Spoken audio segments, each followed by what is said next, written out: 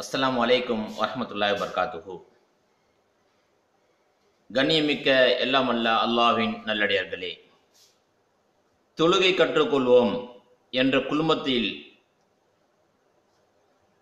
நாமும் இணை- இணைந்து இந்த தொழுகையை சரியான முறையில் கற்றுக்கொள்ளக்கூடியவர்களாக இருக்க வேண்டும் என்பதற்காக மட்டுமே இந்த குழு ஆரம்பிக்கப்பட்டுள்ளது உள்ளது.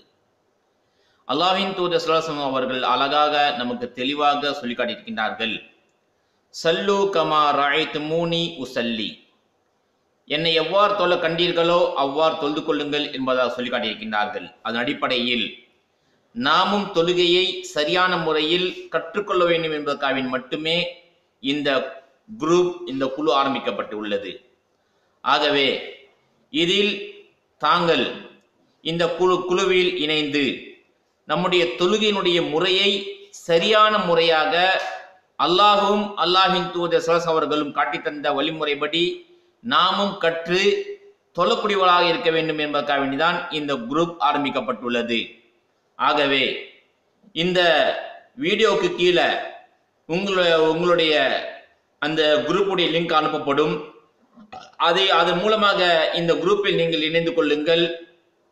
இந்த வீடியோவை யாரெல்லாம் பார்க்கின்றார்களோ அதன் மூலமாக நீங்கள் மற்றவர்களுக்கு இதை ஷேர் ஷேர் செய்யுங்கள். அவர்களும் இதை இணைந்து கொள்ளுங்கள்.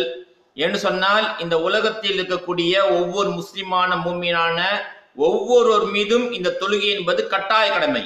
அது தொழுதே ஆக வேண்டும்.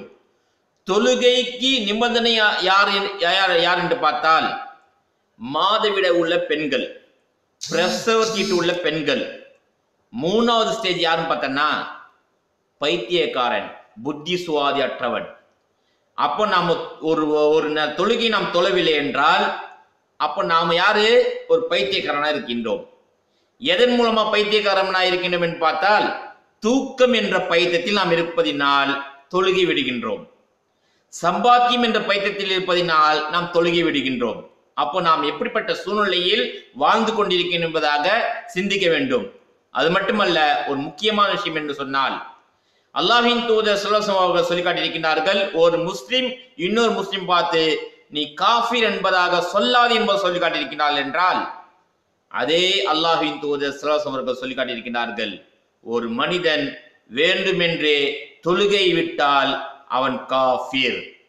அப்ப நம்முடைய வீடுகளில் இருக்கக்கூடிய பத்து வயது நிரம்பிய ஒரு குழந்தை பத்து வயது நிரம்பிய ஒரு ஆண் பிள்ளை அல்லது பெண் பிள்ளை அது யாராக இருந்தாலும் சரி அந்த குழந்தை வேண்டுமென்றே தொழுகை தொழாமல் தூங்கிக் கொண்டிருக்குமேயானால் இப்போ குழந்தை இருப்பாதீங்க அது தூங்கிட்டோம். அந்த- அந்த மாதிரி சொல்வதன் மூலமாக அந்த குழந்தை நாம் பெற்றெடுத்த குழந்தை அது காஃபிராக இருக்கின்றது. அல்லாஹ் பாதுகாக்க வேண்டும்.